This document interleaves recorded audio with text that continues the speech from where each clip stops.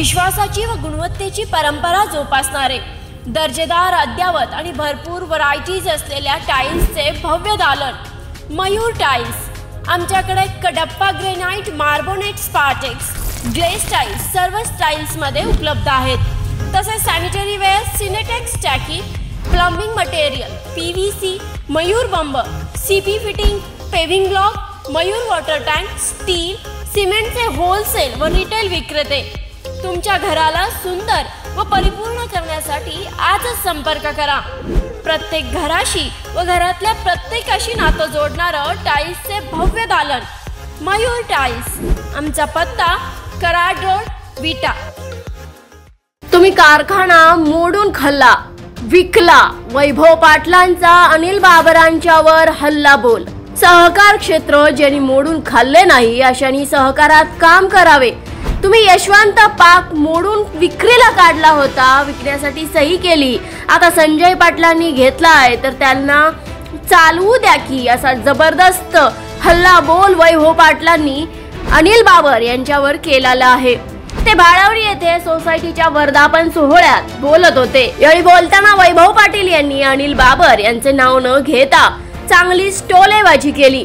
तुम्ही कारखाना मोडून विक्रीला काढला त्यासाठी सही केली असा आरोपही वैभव पाटील यांनी आमदार बाबर यांच्यावर केला. खासदार संजय पाटील आणि आमदार बाबर यांच्यात यशवंत कारखान्यावरून घमासान सुरू असतानाच वैभव पाटील यांनी आमदार बाबर यांच्या विरोधात दंड थोपटत बोचरी टीका केली आहे. संजय पाटलांनी कारखाना घेतला आहे तर त्यांना चालवू द्या की असे म्हणत ते संजय पाटलांच्या बाजूने मैदानात उतरल्याचं दिसते आहे. चला पाहूयात काय म्हणालेत वैभव पाटील.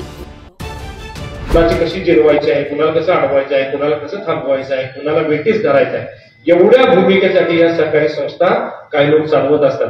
आणि मला खात्री आहे भविष्यामध्ये कधी ना कधी तर लोकांना हे लक्षात येईल उशीर फक्त होऊन नाही दिला पाहिजे एवढं या निमित्तानं सांगतो. आणि भविष्यामध्ये सुद्धा आपल्याला अनेक गावामधल्या ज्या सोसायट्यांच्या बाबतीमध्ये एक विरोधाभास दिसतोय तो विरोधाभास पूर्ण करण्यासाठी सहकार क्षेत्रामध्ये ज्यांनी काम केलंय म्हणजे ज्यांनी मोडून खाल्लं नाही असेल म्हणजे कारखाना असेल सुतगिरण असेल प्रियदर्शनी असेल आणि काय असेल की जी मोडून खाल्लेलं नाही अशा लोकांनी सहकारमध्ये काम करावं अशी भूमिका या निमित्तानं करतो. माझा सांगायचा अर्थ कळला ज्याला कळला असेल ते कळ काल परवा झालं नाही का खासदारांचं आमदारांचं नाही का?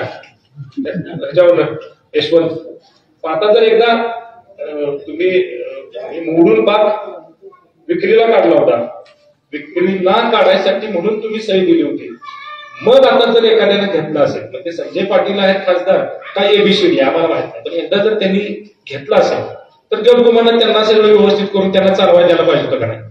साधा विषय. चालवा द्यायला पाहिजे. जर तुम्हाला चालवायचं होता तर आधी तुमच्याकडेच होता. बरं ज्या संपतराव नानांनी हा सरकार साखर कारखाना निर्माण केला त्यांनी तो चांगला चालवला. अगदी कर्नाटकात तो ऊस आणून नीट करून तुमच्या ताब्यात दिला. का तुम्ही घेतला? काय तर केलं पण झालं सगळं तुमच्या ताब्यात आला. दहा बारा पंधरा वर्ष तुमच्या ताब्यात अगदी नीट झालेल्या कारखान्यावरती कर्ज बाजारी करून तुम्ही तो विक्रीला काढला. आणि घेतलेल्या माणसाला सुद्धा तुम्ही चालवून देत असाल तर ही भूमिका